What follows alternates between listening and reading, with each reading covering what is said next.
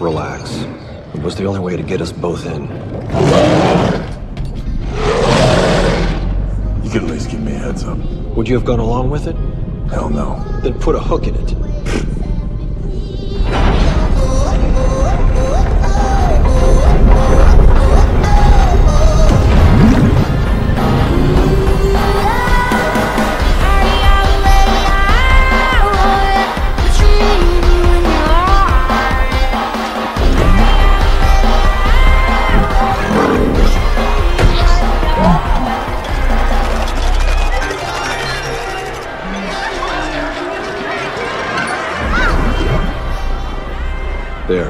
That's Kingfish.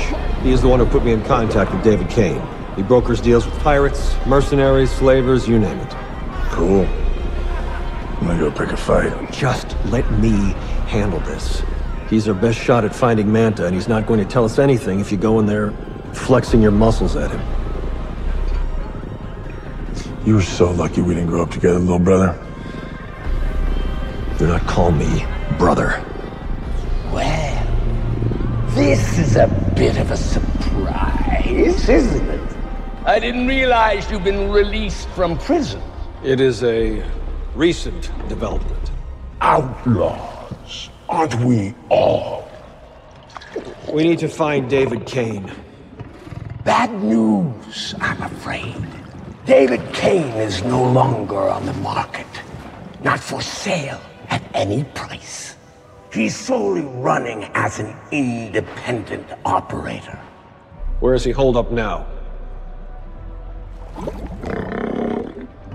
In exchange, I offer a favor from the King of Atlantis. You seriously expect me to play footsie with someone with that kind of blood on their hands?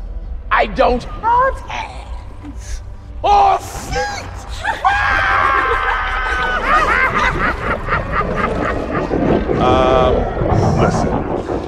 If the information checks out good, I promise you that I won't immediately come back here and tear this place apart.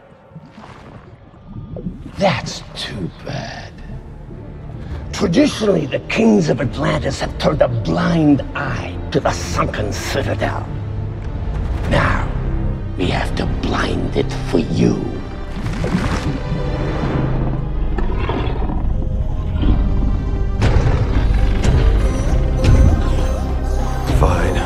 Flex your muscles.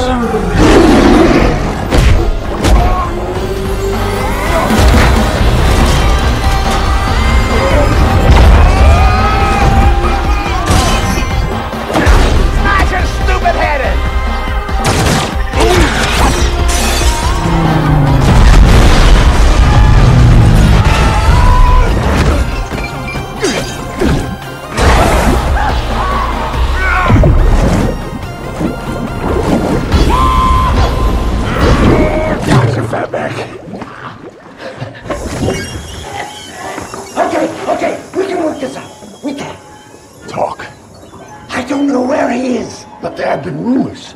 A, a- a dormant volcano in the South Pacific called Devil's Deep. Talk faster. It's been barren for years, but travelers say there's a jungle there now. Navigation gets scrambled as soon as you start to get close. And if you get too close, you don't come back. If I was a betting man, and believe me, I am, I'd say that's where Kane is hiding out. We got what we needed. Let's go. Yeah.